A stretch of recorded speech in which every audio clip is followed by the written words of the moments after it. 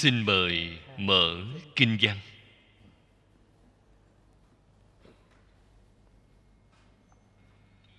Tờ thứ sáu.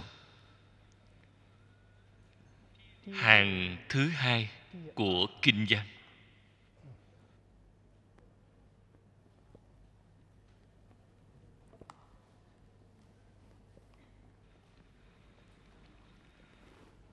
Diễn siêu thanh văn bích chi phật địa.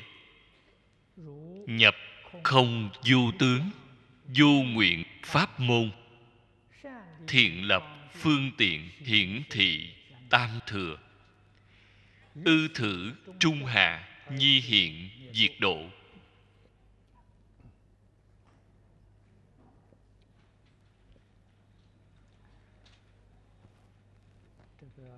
Đó là tướng thứ bảy trong tám tướng thành đạo chuyện pháp luân.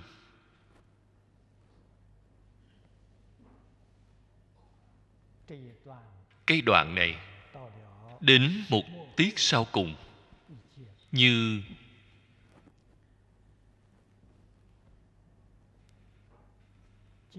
trong kinh đã nói. Đều là chư phật như lai, thị hiện ở trong sáu cõi. Vì chúng ta làm ra tấm gương quần pháp lợi sanh tốt nhất.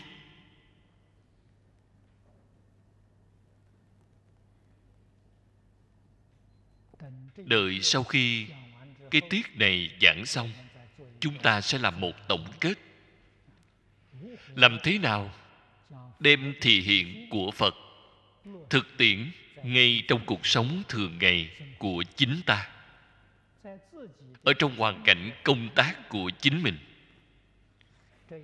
Như vậy, chúng ta mới có thể học được phật pháp chân thật.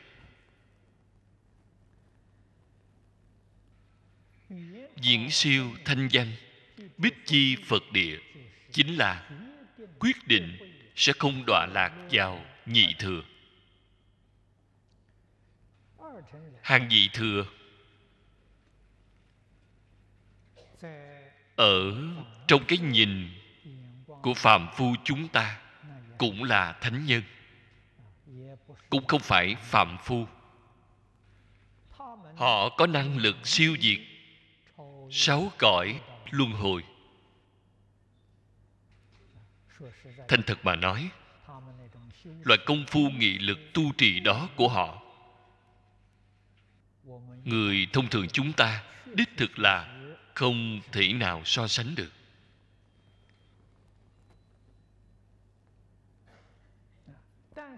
Thế nhưng, khi họ so với bồ tát, thì cự ly này phải kém rất xa. Ở ngay chỗ này. Chúng ta cần phải hiểu rõ. Phật đối với người tiểu thừa, thanh danh chính là a la hán bích chi phật chính là duyên giác.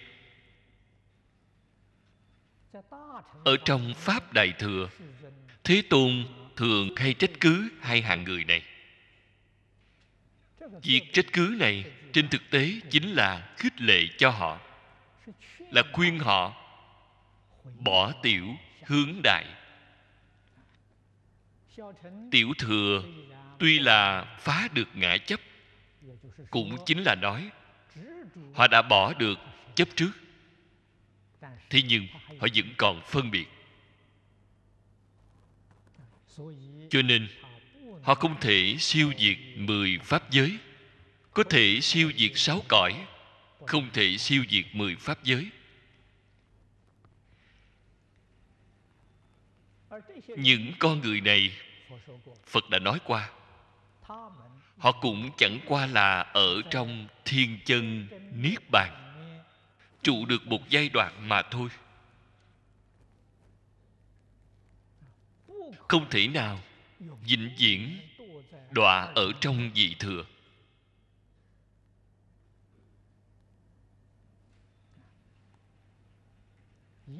Nhất định sẽ quay đầu thế nhưng quay đầu sớm, trễ không đồng. Duyên giác tương đối thông minh, căn tương đối sắc bén. Quay đầu được nhanh. A la hán căn tánh tương đối độn, quay đầu tương đối chậm. Nhất định là sẽ quay đầu quay đầu cũng chính là quay tiểu hướng đại. Một cái là căn tánh không động ngoài ra là gặp duyên có khác biệt. Thông thường chúng ta gọi là cơ hội. Họ phải thường khi gặp được đại thừa. Thường khi gặp được thiện tri thức quay đầu liền nhanh khác biệt của tiểu thừa cùng bồ tát. Người tiểu thừa không chịu chủ động đi giúp người khác. Như phía sau của đoạn kinh này đã nói, làm bạn không mời của tất cả chúng sanh. Chỗ này người tiểu thừa nhất định không làm được người tiểu thừa không phải không độ chúng sanh. Nếu chúng sanh cầu đến họ vì họ còn phải xem bạn có thiện căn hay không, có duyên phận hay không. Bạn có thiện căn, có duyên phận, họ hoan hỷ giúp bạn, cũng dạy bảo bạn. Họ xem bạn không có thiện căn, không có duyên phận, thì họ sẽ rất lãnh đạm với bạn. Không như bồ tát bồ tát dùng tâm bình đẳng đối với tất cả chúng sanh. Không có phân biệt, không có chấp trước. Cái điểm này trên mặt đức hạnh không thể sánh với bồ tát đương nhiên sức định, đạo lực, trí tuệ cũng không thể bằng bồ tát tuy là công phu đoạn chứng của bồ tát giống y như họ trí tuệ đạo lực không như nhau. Thí dụ, trong đại kinh nói với chúng ta, bồ tát viên giáo thất tính dị đoạn kiến tư phiền não. Cái tầng công phu của họ giống như a la hán a la hán cũng đoạn kiến tư phiền não bồ tát thất tính gì cũng đoạn kiến tư phiền não, cho nên đó là bình đẳng. Ngoài cái đoạn phiền não thì giống nhau ra. Thần thông, đạo lực, trí tuệ, thiền định không giống nhau. Bồ tát thất tính dị thì cao hơn rất nhiều so với a la hán cái đạo lý này, chúng ta tuyệt nhiên không khó hiểu. Tâm lượng của bồ tát lớn. Tâm lượng của a la hán nhỏ. Vì thì không như nhau. Khác biệt ngay chỗ này. Cho nên kinh hoa nghiêm, ở thời kỳ mạt pháp, người đương cơ là người như thế nào? Đại tâm phạm phu đại tâm phạm phu, còn đáng quý hơn so với thanh văn duyên giác. Thanh văn duyên giác không có cơ duyên tu học đại kinh, như kinh hoa nghiêm, kinh pháp hoa. Họ không có phần không phải phật không bình đẳng, vì họ không tin tưởng, họ không bằng lòng tiếp nhận cái điểm này còn thua xa với đại tâm phạm phu. Gọi là phàm phu là một phẩm phiền não cũng chưa đoạn. Không cần nói a la hán không thể so sánh, tiểu thừa tu đà hoàng cũng không thể so sánh. Thế nhưng luận tâm lượng, luận kiến giải, chân thật là siêu diệt tiểu thừa siêu diệt thanh văn duyên giác. Đó là nói, căn tánh một loại nhất thừa duyên giáo. Chân thật, rất là đáng quý. Những bồ tát dự hội này siêu diệt hơn rất xa hàng dị thừa. Đó là tán thán đối với bồ tát đoạn nhỏ thứ sáu phía sau. Khế nhập tam muội nhập không vô tướng vô nguyện pháp môn. Không vô tướng vô nguyện. Vô nguyện có kinh gọi là vô tác. Ý nghĩa như nhau. Đại tiểu thừa đều có lại gọi là tam giải thoát pháp môn. Cũng chính là nói ba loại pháp này. Ở trong tiểu thừa nói, bạn có thể thoát khỏi sáu cõi luân hồi. Nhất định là từ trong ba pháp môn này mà thành tựu. Bạn có thể thoát khỏi sáu cõi luân hồi trong đại thừa pháp nói, ba pháp môn này có thể giúp bạn siêu diệt mười pháp giới. Bạn liền chứng được pháp giới nhất chân. Cho nên tam giải thoát môn thông cả đại tiểu thừa. Cái danh tướng này tuy là như nhau, cảnh giới không như nhau. Thí dụ nói không môn. Người tiểu thừa chứng được ngã không? Chỗ này có thể siêu diệt được sáu cõi. Người đại thừa chứng được pháp không? Không chỉ ngã là không, pháp cũng không. Cho nên họ có thể siêu diệt mười pháp giới. Họ có thể chứng được pháp giới nhất chân.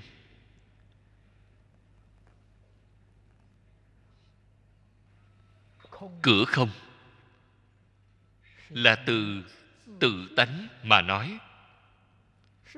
Là từ trên lý thể tất cả dạng sự, dạng vật mà nói.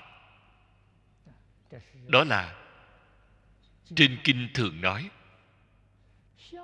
Tướng có tánh không? Sự có lý không? Họ có thể từ tướng, thấy được tánh. Từ sự có thể quan sát được lý. Họ chân thật tường tận được sự tướng là huyễn hóa. Như trên kinh kim cang đã nói, mộng huyễn bào ảnh. Bạn không thể nói nó không có.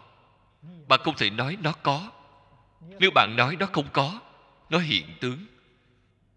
Đích thực, có cái tướng này tồn tại. Bạn nói nó có, cái tướng này là giả tướng, không phải thật tướng. Cái tướng này là sát đa, sanh diệt, không thực tại. Nếu như bạn cho rằng tướng là thật có, thì bạn sai rồi. Thì bạn mê trên cái giả tướng đó. Tướng là giả, không phải là thật. Từ nơi cửa này mà bước vào, cũng chính là từ nơi pháp môn này, cái phương pháp này. Ngộ nhập mà thoát sanh tử, siêu ba cõi bạn chính là từ cửa không mà vào từ trong cửa không mà chứng đạo. Nếu như không vào được cái cửa này, học cái môn này không có được lợi ích. Chúng ta thường nói không khế cơ, không khế hợp căn cơ của chính mình. Chính mình không phải căn cơ này, tu học pháp môn này, bạn sẽ không dễ gì khế nhập cái cửa này không thể vào, còn có một cái cửa nữa là vô tướng. Nhập không là vào từ cửa không. Cái vô tướng này, tướng là hữu môn. Có thể từ nơi hữu môn mà vào. Hữu, vì sao gọi là vô tướng? Bởi vì tướng là duyên sanh.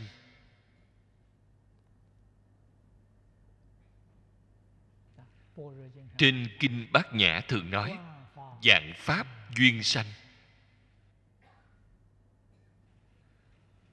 Phàm hệ pháp do nhân duyên sanh đều không có tự tánh. Cho nên từ ngay chỗ này, tỉ mỉ mà quan sát, thấy ra được tướng là giả tướng.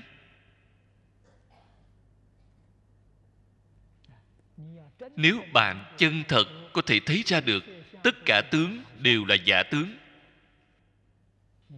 thì bạn đã nhìn thấu. Nhìn thấu là chân thật thông suốt. Chân thật thông đạt. Cái chân tướng sự thật này đã bị bạn nhìn thấu. Sau khi nhìn thấu, bạn liền tự nhiên không còn chấp trước đối với hiện tướng này. Bạn liền có thể buông bỏ buông bỏ cái gì? Buông bỏ chấp trước. Vừa buông bỏ chấp trước, thì liền siêu diệt sáu cõi. Như vậy mà vào cửa, bạn chính là từ cửa vô tướng mà vào.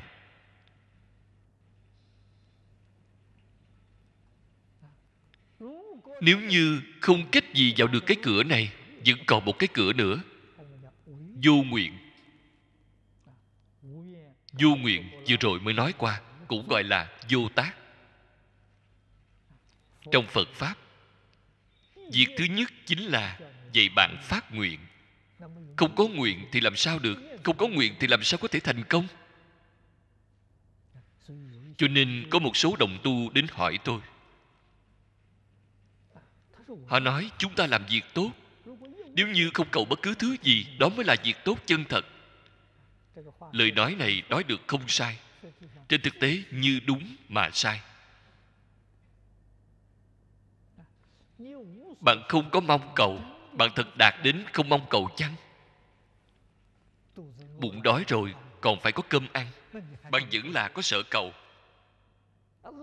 Mệt rồi, bạn còn phải nghỉ ngơi. Thì sao bạn có thể nói là vô sở cầu? Nếu như chân thật đến được vô cầu, đó không phải là cảnh giới phạm phu của chúng ta. Mức độ thấp nhất là pháp thân đại sĩ mà trên kinh hoa nghiêm đã nói. Đó là chân thật đến được vô niệm. Họ có thể được, chúng ta không thể được.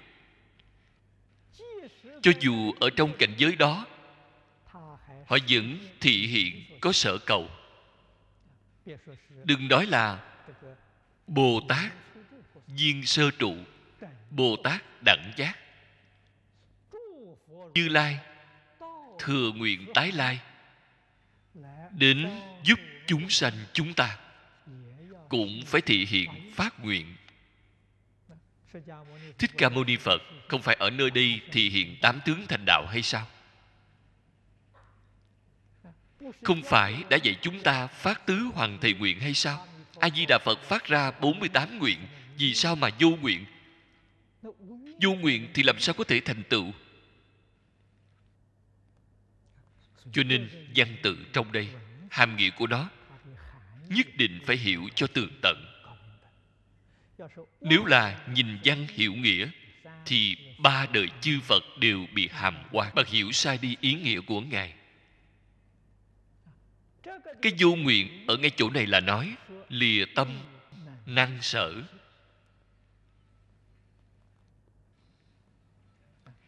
Cái nguyện này mới gọi là cái nguyện chân thật. Người thế gian, mọi người đều có nguyện vọng. Thế nhưng, nguyện vọng của người thế gian không dài lâu qua vài ngày thì họ thay đổi, lại thay đổi chủ ý. Gặp được duyên, họ lại thối tâm.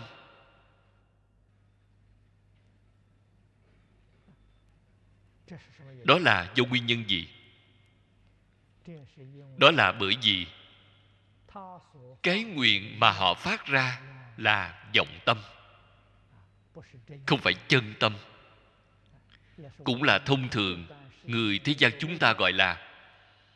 Vì sao bạn phải phát ra cái nguyện này? Đó tại vì sao bạn vẫn còn có một đạo lý, có một lý do để mà đi làm. Cái lý do đó của bạn mất đi thì bạn phải làm sao? Cái nguyện đó không thối chuyện thì là thay đổi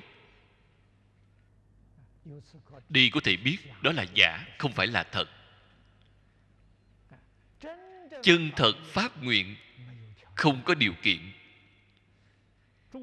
Chư phật như lai, vô duyên đại từ, đồng thể đại bi, chính là không có điều kiện. Đối với tất cả chúng sanh, hữu tình, vô tình, quan tâm thanh tịnh, bình đẳng thương yêu, bình đẳng. Đó là thật, không phải là giả.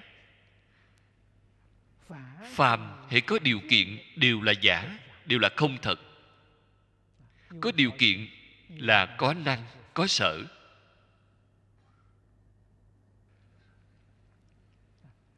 Năng sở là hai pháp. Lục tổ huệ năng đại sư đã nói hai pháp thì không phải phật pháp. Phật pháp là pháp không hai. Có thể đoạn dứt hai bên năng sở. Đó mới gọi là vô nguyện. Đó mới gọi là vô tác. Sau đó chúng ta mới có thể hiểu được đại đức xưa đã nói, làm mà không làm không làm mà làm. Đó là lìa khỏi cả hai bên. Hai bên đều không chấp trước.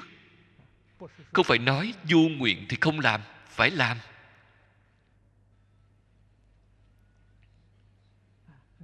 Bạn xem, a di đà phật 48 nguyện, mỗi nguyện đều hiện thực.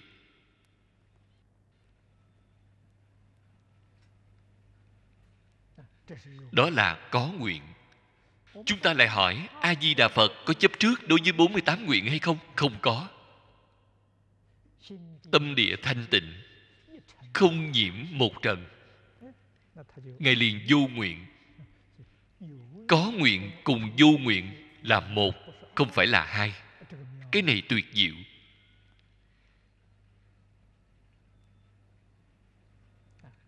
Do đây có thể biết, vô nguyện, cái cửa này chính là thường gọi pháp môn không hai. Cho nên vào đạo, có từ cửa không mà vào, có từ cửa có mà vào, có từ cửa không hai mà vào. Vô tác vô nguyện chính là cửa không hai. Hai mà không hai. Nguyện tức vô nguyện vô nguyện tức nguyện rất nhiều bồ tát đại thừa từ cái cửa này mà khế nhập cảnh giới của như lai quả địa, chính là pháp giới nhất chân. Chúng ta tu học tịnh độ sinh vào thời kỳ mạt pháp, chúng ta phải hiểu những đạo lý này. Chúng ta có năng lực từ ba cái cửa này mà vào hay không? E rằng bất cứ cửa nào trong ba cửa này chúng ta cũng không thể vào được. Không cách gì tiến vào được. Ba cái cửa này là con đường thông lộ. Hiện tại chúng ta phải mở con đường sau, không đi ba cái cửa này. Cho nên tịnh độ tông gọi là pháp môn đặc biệt. Môn dư đại đạo. Ngoài ba cửa chính quy ra, vẫn còn có một cửa. Cái cửa này rất đặc biệt. Cái cửa này rất nhiều bồ tát đều không biết. Cho nên cái cửa này gọi là pháp khó tin. Nếu bạn nói cho người khác nghe, không vô tướng, vô nguyện mọi người đều biết sẽ không hoài nghi. Chỗ này, mọi người đều biết. Họ rất dễ dàng tin tưởng. Nếu bạn nói là niệm phật giảng sanh thì họ không tin tưởng. Niệm phật giảng sanh dường như không có cửa. Không có trong ba cái cửa này. Nó là một pháp môn đặc biệt riêng biệt. Pháp ngoài cửa lớn.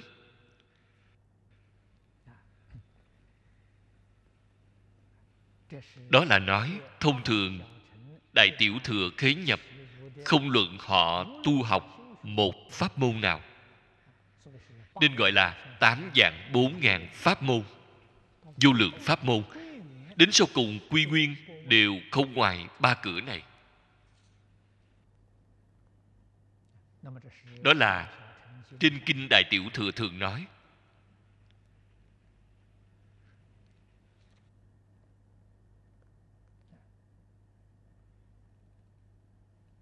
còn tịnh tông chúng ta. Tịnh tông cũng có bí quyết vào cửa. Hiện tại chúng ta xây dựng niệm phật đường. Mỗi một vị đồng tu bước vào niệm phật đường đều sanh tâm hoan hỷ, được phật lực gia trì. Bạn xem, trước khi bạn chưa bước vào niệm phật đường, bạn hoài nghi bạn rất khó tin tưởng. Cũng có người hoài nghi, thị lực chính mình không đủ. Một ngày một đêm, làm sao có thể chịu nổi? Hai ngày hai đêm thì càng không thể chịu nổi. Thế nhưng sau khi bước vào niệm phật đường rồi, càng niệm càng hoan hỷ. Chính mình đều cảm thấy ngoài sức tưởng tượng không tin tưởng chính mình có được cái thể lực này. Vì sao hai ngày, hai đêm cũng qua được?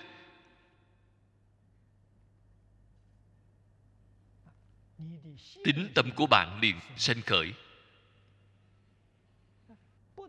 Không chỉ hai ngày, hai đêm, bảy ngày, bảy đêm cũng được.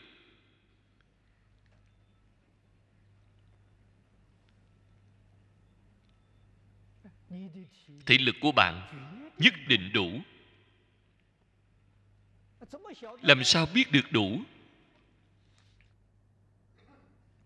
Ngạn ngữ thường nói, người gặp việc vui, tinh thần thoải mái. Bằng bước vào niệm phật đường, một mảng hoan hỷ hoan hỷ thì tinh thần liền lên cao. Nếu bạn bước vào niệm phật đường không hoan hỷ, vậy thì bạn sẽ không có tinh thần. Từ hoan hỷ mà có. Hoan hỷ là thứ bổ dưỡng tốt nhất cho sinh lý chúng ta. Bất cứ thứ dinh dưỡng nào cũng không thể sánh được với dinh dưỡng hoan hỷ. Việc này phải biết. Phật pháp đại thừa dạy người thường sanh tâm hoan hỷ. Thế nhưng làm gì có được nhiều việc vui đến như vậy? Niệm phật mới là chân thật hoan hỷ hoan hỷ của niệm phật phải chính bạn đích thân cảm thọ. Bạn không bước vào niệm phật đường thì bạn không có được cảm thọ. Giống như cái đạo lý này, ở trong sáu cõi chúng ta, bạn thấy người trời sắc giới, họ không cần ăn uống. Họ đã đoạn tuyệt hết tất cả ăn uống không chỉ họ không cần phải ăn đồ ăn, nước họ cũng không cần phải uống. Người trời sắc giới không nghe nói bị bệnh.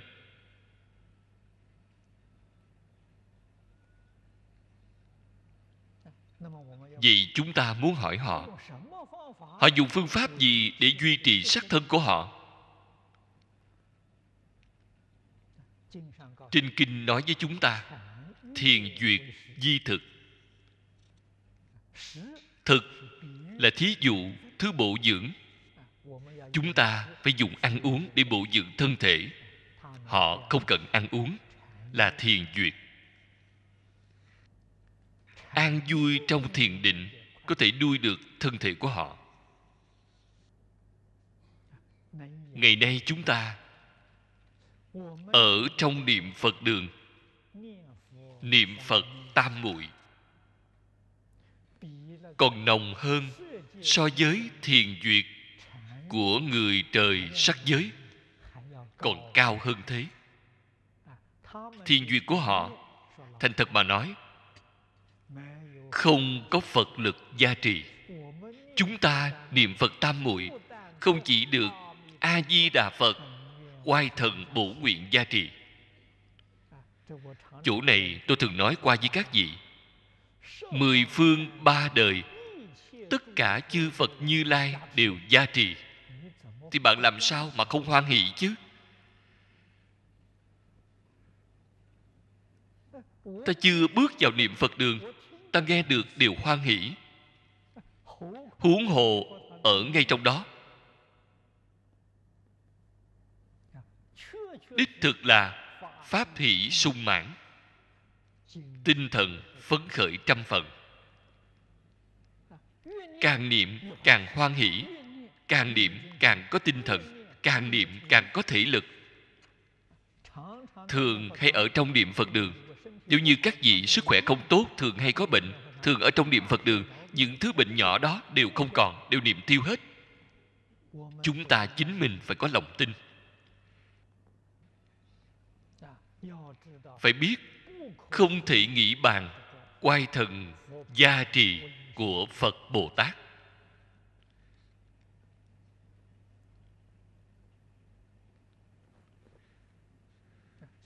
Cho nên pháp môn niệm phật thù thắng không gì bằng.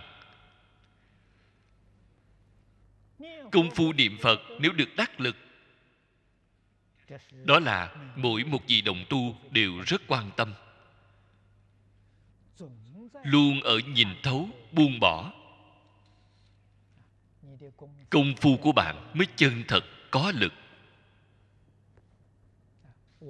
Ngày nay chúng ta hy vọng không thể quá cao quá cao không đạt đến.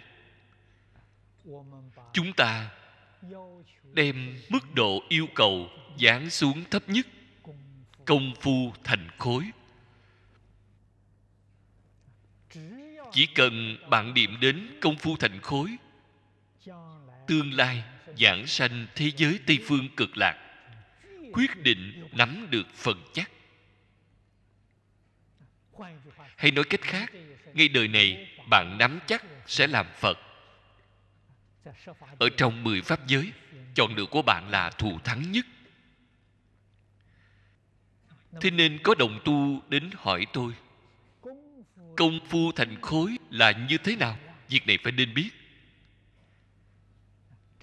Công phu thành khối thì trong lòng chỉ có nhớ phật, niệm phật.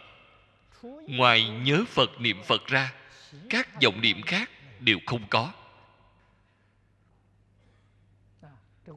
Vọng niệm là phiền não. Gốc của phiền não tuyệt nhiên chưa đoạn nếu gốc đoạn được rồi mà nói thì cảnh giới đó cao. Không dễ gì làm được. Chúng ta niệm phật cái niệm này. Nhớ cũng là niệm. Trong lòng tưởng phật. Sức niệm này mạnh. Làm cho phiền não bị đè xuống. Phiền não tuy là có, không khởi tác dụng, không khởi hiện hành đó gọi là làm được công phu thành khối. Nếu như chúng ta lìa khỏi niệm phật đường, ở ngay trong cuộc sống thường ngày, vẫn còn khởi lòng tham. Gặp phải việc không vui, vẫn còn khởi tâm sân hận. Bạn phải biết, công phu của bạn chưa đạt đến trình độ này. Công phu chân thật đạt đến thành khối gặp việc hoan hỷ, không khởi tâm tham ái. Gặp việc không vui, cũng không khởi tâm sân hận.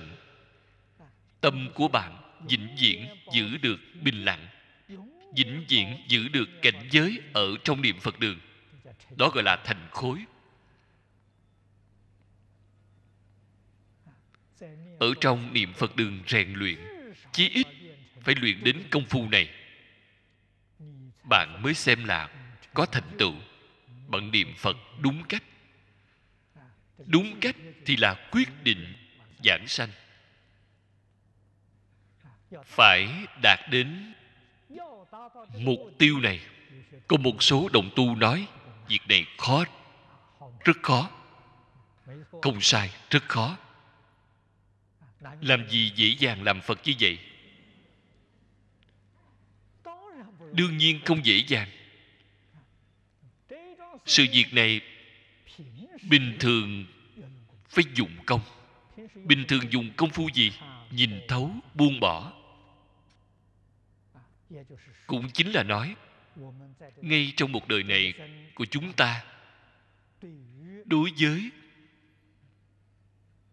tất cả mọi người, mọi việc, mọi vật, phải thấy nhạt đi một chút. Không nên quá chấp trước.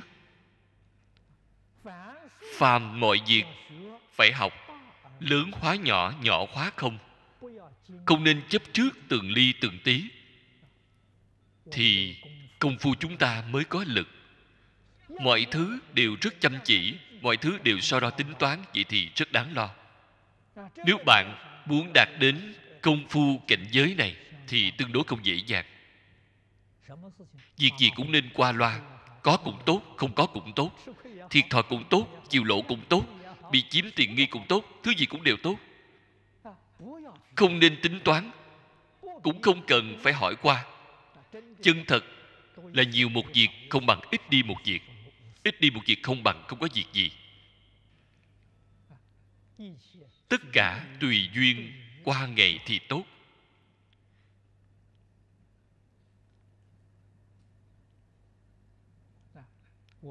Những đồng tu lãnh đạo cư sĩ lâm chúng ta. Chân thật là rất hiếm có. Chúng ta ở bên cạnh quan sát, khởi tâm động niệm của họ. Tất cả việc làm khiến cho chúng ta rất bội phục.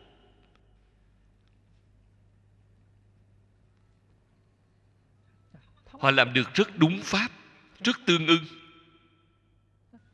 Đều có thể hóa nặng thành nhẹ, đều có thể tùy duyên mà không phan duyên. Phan duyên chính là ta nhất định phải làm như thế nào đó, nhất định phải chấp trước làm như vậy. Vậy thì sai rồi.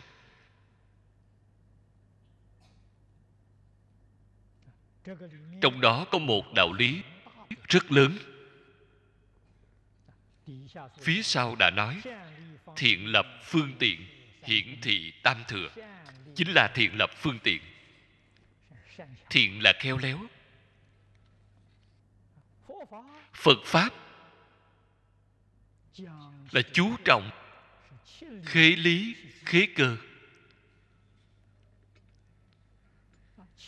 Khế lý nhất định phải tương ưng với tánh đức.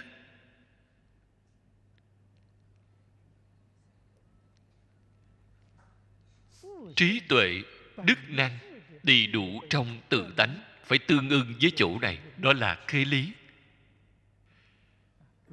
Nếu như chúng ta dùng một câu phía trước, không vô tướng, vô nguyện, đó là tánh đức.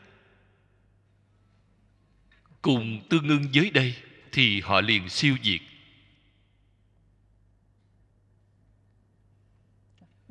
Vì thì pháp môn niệm phật bạn có thể tương ưng với nguyện của Phật. Nguyện của Phật là 48 nguyện mà trên kinh này đã nói. tương ưng với đức của phật đức là danh hiệu công đức danh hiệu không thể nghĩ bàn danh hiệu nếu hoàn toàn dịch thành ý nghĩa trung gian là vô lượng giác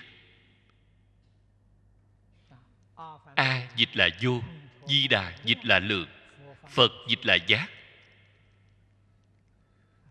Hay nói cách khác, mỗi giờ, mỗi lúc,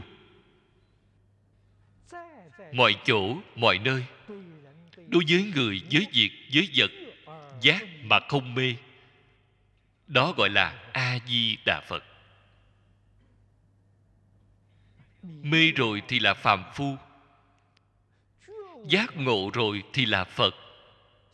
Cho nên, mỗi niệm tương ưng với giác, vậy mới có thể vào được cửa. Đó chính là khế lý. Ngoài khế lý ra, còn phải khế cơ. Cơ là gì vậy? Căn tánh đại chúng hiện tiền. Phật pháp là sống không phải là chết. Phật pháp là độ người hiện đại. Là độ người khu vực này của chúng ta. Nếu bạn hiểu được cái đạo lý này, không phải là để độ người xưa, cũng không phải để độ người dị lai, cũng không phải để độ người thế giới phương khác, là độ đại chúng hiện tiền này chúng ta bạn phải hiểu được căn cơ của đại chúng hiện tiền. Cho nên đồng tu, phụ trách dẫn chúng niệm phật đường. Hôm qua tôi đặc biệt nói với họ.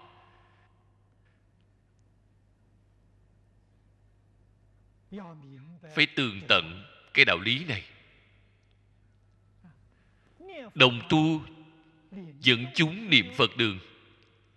Chính mình phải thường hay khích lệ, khuyến tấn lẫn nhau? Phải nghiên cứu, cải tiến lẫn nhau. Không được chấp trước thành kiến của chính mình. Bạn nhất định phải tường tận. Chư phật như lai, tất cả bồ tát đều không có thành kiến. Thành kiến là gì vậy? Là chấp trước. Chư phật như lai đều hàng thuận chúng sanh tùy hỷ công đức. Các ngài không có ý kiến của chính mình. Là lý, ý nghĩ của mọi người làm ý nghĩ. Cho nên mọi người thích làm thế nào thì chúng ta làm như thế đó. Người nhiều thì phải thành lập thanh quy. Quy củ luôn là thiểu số, phục tùng đa số. Đó là chế độ dân chủ. Nhà phật hơn ba ngàn năm trước đã nói đến dân chủ. Đã nói đến cộng hòa. Cũng nói đến lục hòa, lợi hòa, đồng huân. Phật giáo đề xướng sớm nhất đã đề xướng hơn ba ngàn năm trước. Không chỉ đề xướng, còn làm theo. Chân thật đang làm. Phật không có cái ý của riêng mình. Bồ tát cũng không có cái ý của riêng mình. Ngày trước tổ sư đại đức đã lập ra những quy củ này.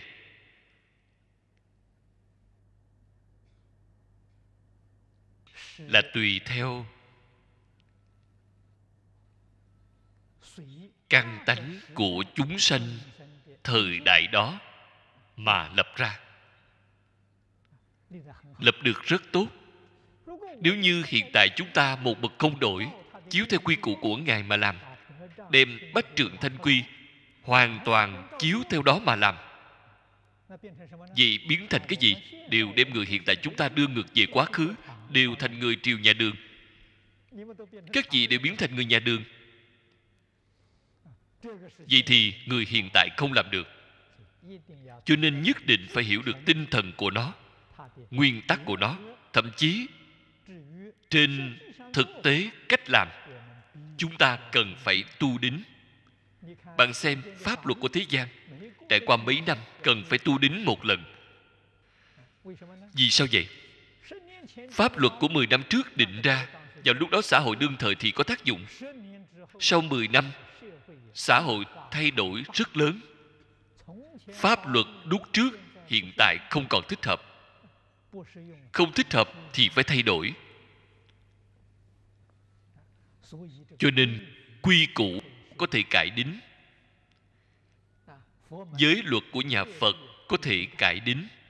Bạn thấy, bách trượng thanh quy chính là giới luật của thích ca mâu ni phật. Vào lúc đó đã làm một cuộc tu đính rất lớn, biến thành trung quốc hóa, hiện đại hóa, bổn thổ hóa. Dùng danh từ hiện đại mà nói chính là hiện đại hóa, bổn thổ hóa. Tinh thần nguyên tắc giới luật của phật không thay đổi cách làm thế nào thì phải thích hợp với người hiện đại chúng ta, thích hợp với người địa phương này chúng ta. Vậy thì mới có thể nói được thông. Đó gọi là khế cơ. Do đó, người xưa đã định là thanh quy, đáng được để cho chúng ta tham khảo. Bạn xem cách thay đổi của nó như thế nào? Chúng ta làm thế nào có thể thích ứng với niệm phật đường hiện tiền của chúng ta? Thích ứng với đồng tu của niệm phật đường chúng ta? Bạn mới gọi là chân thật khế cơ.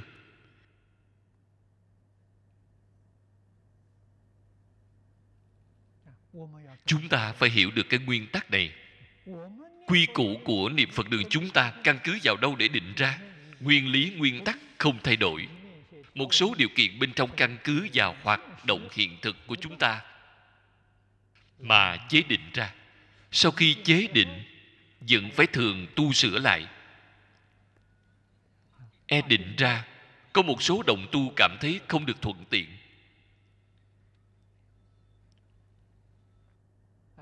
cho nên chân thật là đồng tu dẫn chúng phải học loại tinh thần của khổng lão phu tử, nhập thái miếu mỗi sự dấn. khi bạn đang dẫn chúng, đồng tu dẫn chúng phải thường thỉnh giáo với pháp sư thời khóa của ngày hôm nay các vị cảm thấy như thế nào? Có chỗ nào cần cải tiến không? Thường hay thỉnh giáo?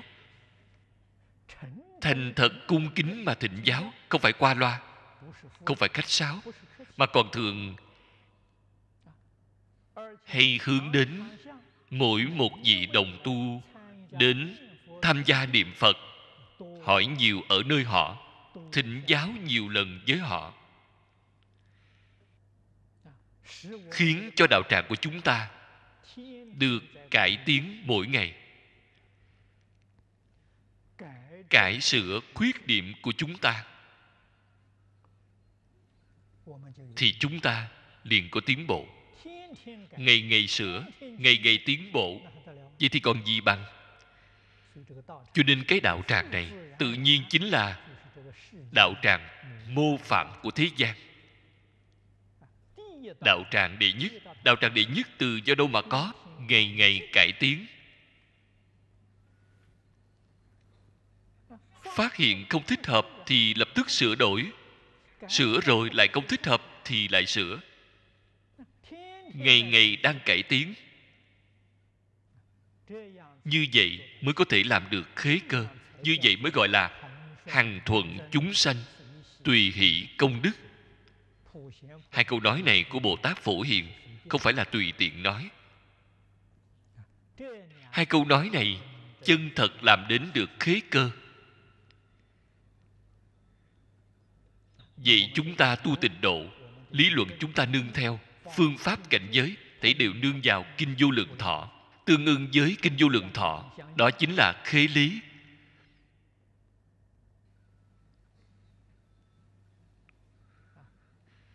Những phương pháp thúc đẩy này, nhất định là mỗi một vị đồng tu đều có thể rất hoan hỷ. Hoan hỷ tiếp nhận, pháp hỷ sung mãn. Thì cái niệm phật đường này thành công.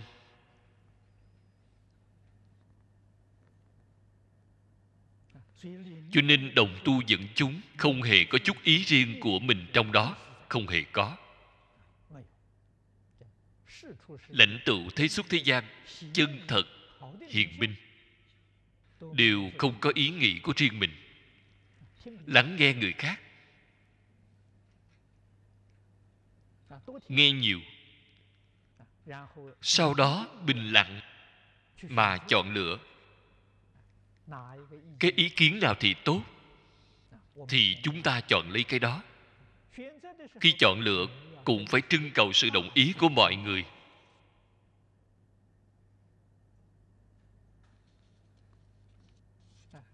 Bạn có trí tuệ, có năng lực chọn lấy phương thức này của bạn. Giải thích tỉ mỉ với mọi người. Trưng cầu tán đồng của mọi người. Như vậy mà thúc đẩy thì sẽ thuận tiện, thiện lập phương tiện.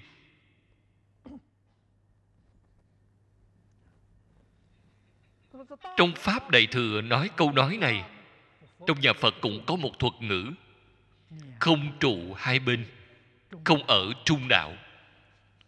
Đó mới là chân thật thiện lập phương tiện. Bạn xem cái tâm đó mới thật thanh tịnh. Đó là chỗ mà chúng ta phải nên học theo phật, học theo bồ tát. Trong lòng phật bồ tát thanh tịnh trừng thanh, vốn dĩ không một vật. Không có một ý kiến nào một chút thành kiến cũng không có Thích Ca Mâu Ni Phật vì chúng ta giảng kinh nói Pháp 49 năm cũng không có một ý riêng. Việc này mọi người phải nên biết.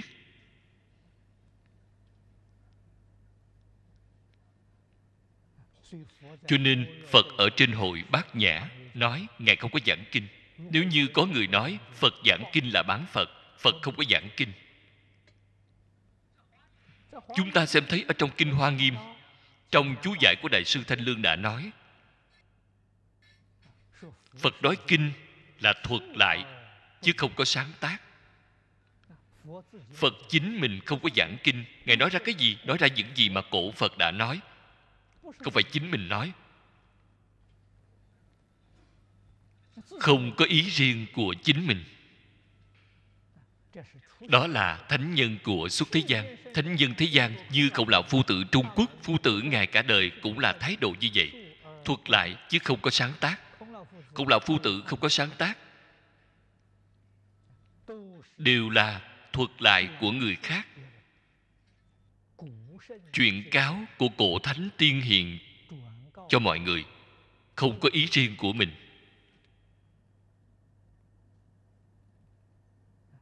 Thích Ca Mâu Ni Phật đã nói 49 năm.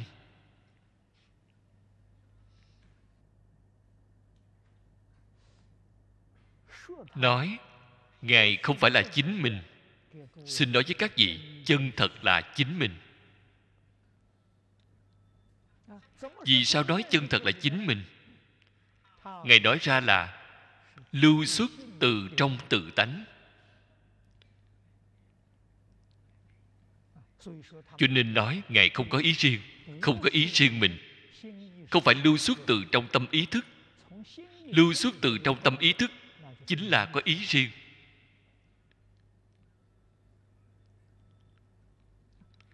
Không phải lưu xuất từ trong tâm ý thức. Lưu xuất ra từ đâu vậy? Từ trong chân như bổn tánh mà lưu xuất ra. Các vị phải nên biết, tâm ý thức mỗi một người đều không giống nhau, chân như bổn tánh thì mỗi người đều như nhau. Do đây có thể biết, từ trong tự tánh, thích ca mâu ni phật lưu xuất ra chính là từ trong tự tánh của chính chúng ta lưu xuất ra. Có một ngày, chúng ta minh tâm kiến tánh. Sau đó mở kinh điển ra, thấy đều là thứ từ trong tự tánh của chính ta.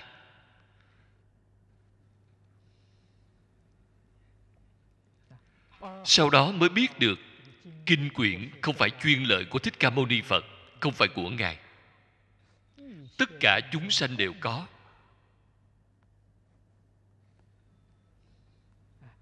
Bạn xem, thân thiết chừng nào đối với chúng ta, ngài kiến tánh rồi. Chúng ta kiến tánh cùng ngài kiến tánh không hề khác biệt. Cho nên, có thể đem công đức tu hành từ trong vô lượng kiếp của ngài biến thành công đức của chính mình. Công đức mà chúng ta tu tích được cũng có thể biến thành công đức của người khác. Đến lúc đó, không còn có chướng ngại. Ta và người không hay. Sanh phật không hay. Chúng sanh cùng phật không hay. Câu phía sau là nói ba thừa hiển thị tam thừa. Bạn xem, hiển là minh hiển, thị là thị hiện pháp tam thừa là thị hiện pháp tam thừa là pháp phương tiện. Thế tôn sau cùng ở trong kinh pháp hoa? Nói ra thế tôn ngài sau cùng đưa ra kết luận, duy hữu nhất thừa pháp, vô nhị diệt vô tam, trừ phật phương tiện thuyết. Chủ đề rất rõ ràng nói với chúng ta, tam thừa là phật phương tiện nói. Phật chân thật nói, chân thật nói chỉ có pháp nhất thừa. Cái gì gọi là nhất thừa? Thành phật gọi nhất thừa. Có thể thấy được tất cả chư phật như lai, bổn nguyện của các ngài, đều hy vọng chúng ta cùng tất cả chúng sanh ở ngay trong một đời này thành phật. Không phải vậy chúng ta làm bồ tát, làm a la hán, không phải vậy.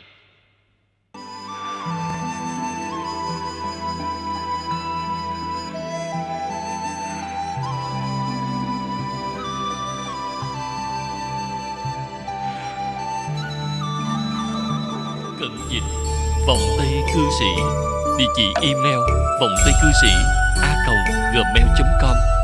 Người đọc phật tử thiện quan phát tâm cúng dường do gia đình phật tử thiện chân thành tâm cúng dường. Nguyện cả thầy chúng sanh đều tín niệm di đà, đồng cầu sanh về nước cực lạc. Nguyện đem công đức này trang nghiêm cõi trên đền bốn ơn nặng, dưới cứu khổ ba đường. Nếu có người nghe thấy, đều phát tâm bồ đề, hết một báo thân này, đồng sanh về nước cực lạc. Nam mô a di đà phật.